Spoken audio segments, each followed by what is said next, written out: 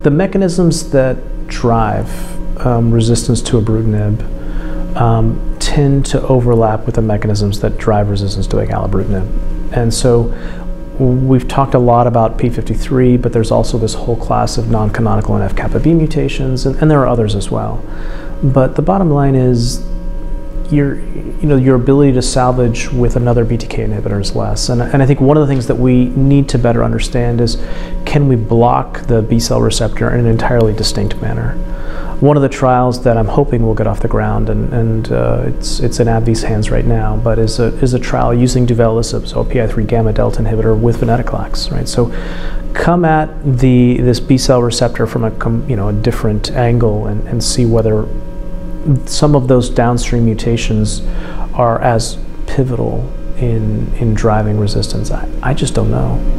Uh, but it's something that we need to learn.